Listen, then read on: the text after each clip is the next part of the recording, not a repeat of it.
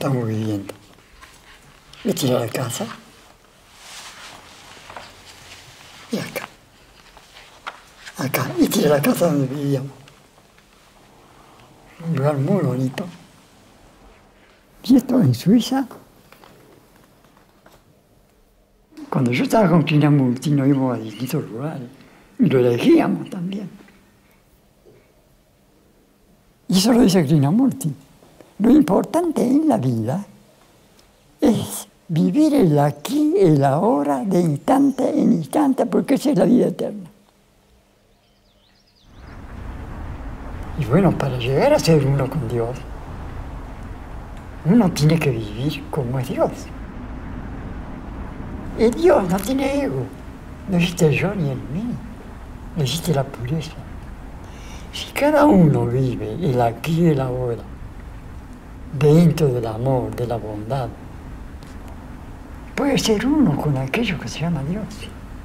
Es puro, sin deseo, sin contenido. Es Dios.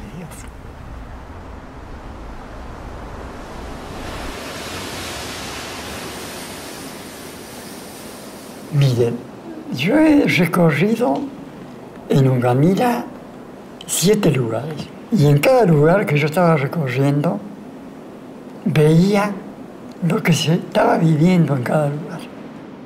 Y empecé a ver en Ungamira, dentro de la soledad y el silencio, que nadie lo ve, porque viven 40 personas, la belleza que tenían alrededor de ellos. ¿Por qué viven tan pocas personas en un lugar tan bello? Como Ungamira. ¿Sabe que Ungamira tiene una fuerza tremenda? Corre a la gente. Lo atrae a algunos y a otros. Tiene una fuerza enorme Ungamira. Eso es Ungamira.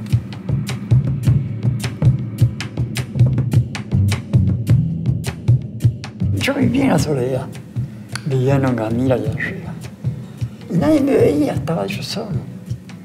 Y dentro de la soledad pude descubrir muchas cosas. El aquí y el ahora. Las tres decía yo, el sol, soledad y silencio.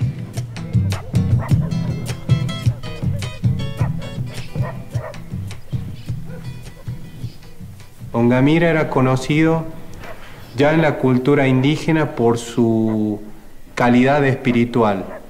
El indígena que vivenció este lugar, en particular la cultura comechingona, hablaba siempre de una conexión del ser humano con toda su esencia física y espiritual. Ongamira dice que significa energía de todo lo creado.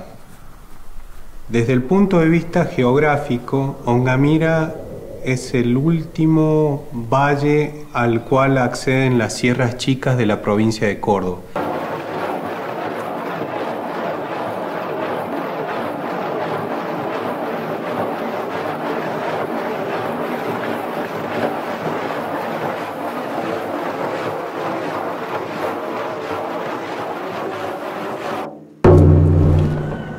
Y lo que esta región tiene para dar como mensaje es la conexión que existe de nuestro ser con toda la esencia de nuestra naturaleza.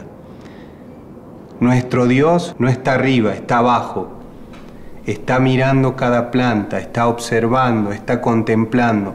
Nosotros somos parte de un ecosistema y cuando entendemos que jugamos un rol muy importante en todo lo que esto, este ecosistema representa, ahí comienza realmente a entender nuestro rol como parte de este ecosistema mucho mayor, nuestro planeta, nuestra tierra, nuestra Gaia.